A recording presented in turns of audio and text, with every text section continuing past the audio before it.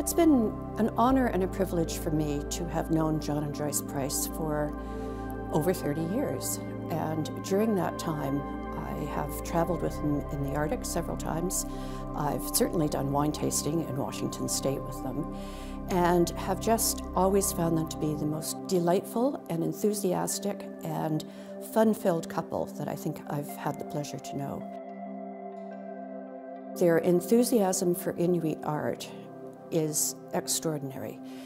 John and Joyce would turn up at every show where Inuit were coming south across Canada and in the United States. They would attend all of the auctions. They, along the way, made great friends, particularly with um, the people of Cape Dorset, Kenojuak and Jimmy Manning in particular, because they spent a lot of time traveling with Kenojuak and, uh, and Jimmy both in Washington State and then visiting up in the Arctic and in Toronto as well. We are so privileged here to have works from their, their incredible collection.